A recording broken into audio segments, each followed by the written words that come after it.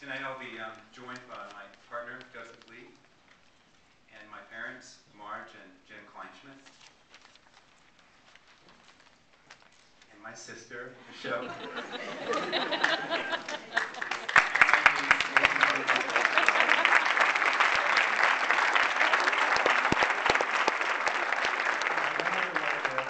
Aunt Lois, who's made the trip up here from down in South Carolina,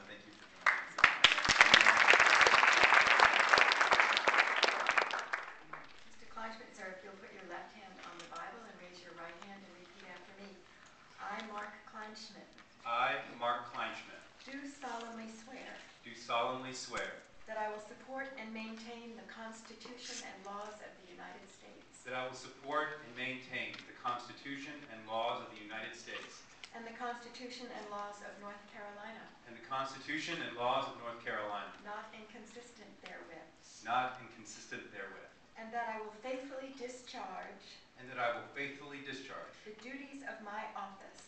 the duties of my office. As mayor of the town of Chapel Hill, as mayor of the town of Chapel Hill,